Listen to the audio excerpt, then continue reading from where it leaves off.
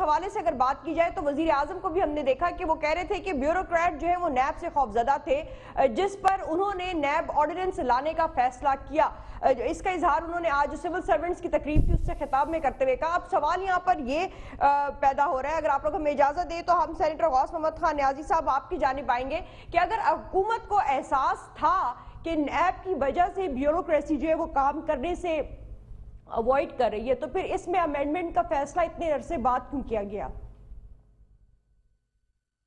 ہم پہلے دن سے یہ کہہ رہے تھے۔ دیکھو فہد چودھری صاحب جب یہ پارلیمانی یہ جو پانچ سالہ دور ہمارا شروع ہوا اور بہار میں اگست، سترہ اگست کو وزیر اعظم صاحب کا الیکشن ہوا اور اس کے بعد فواد چودھری نے کچھ بات اسپیک کی تھی، اس نے کہا کہ ہم خود سمجھ رہے ہیں کہ اس میں کافی خلا جو خلا ہے اس میں، جو کافی جو ہے اس میں کوئی کافی امپروومنٹ کی گنجائش ہے نئے آرڈیننس میں۔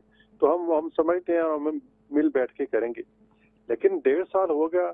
ڈیڑھ سال انہوں نے ہمیں جو ہم جو اپوزیشن کی لیڈرشپ تھی، چاہے ہمارے تھے، چاہے پیپلز پارٹی کی، سب کو دیوار سے لگایا۔ اور عدالتوں میں ڈالا۔ کچھ بری ہو گئے، کچھ بھی کیس چل رہے ہیں۔